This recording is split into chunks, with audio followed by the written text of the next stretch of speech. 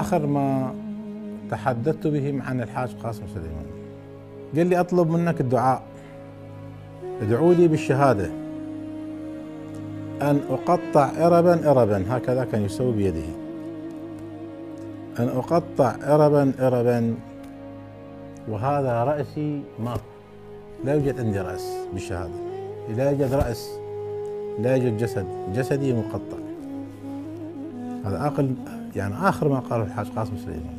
أه ودي مثل ما استشهدوا الحاج قاسم سليماني و أبو مهدي المهندس قطعت أوصالهم مثل ما تقطع أوصال الإمام الحسين.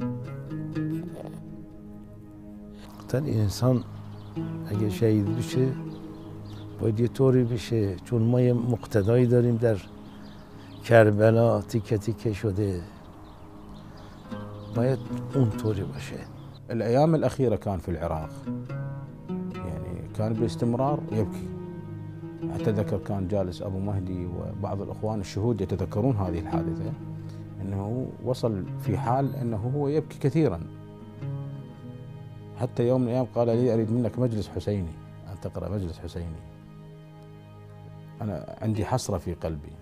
قرأت له وانفجر بالبكاء. لحجي أشوفك هذه الأيام عندك ضيق في صدرك مختنق. قال والله يا شيخ أنا أتمنى أن أموت مرة واحدة في إيران. لكن سروري وأمنيتي أن أقتل وأستشهد عشرين مرة في العراق. قلت له ليش يعني؟ العراق بلد الحسين.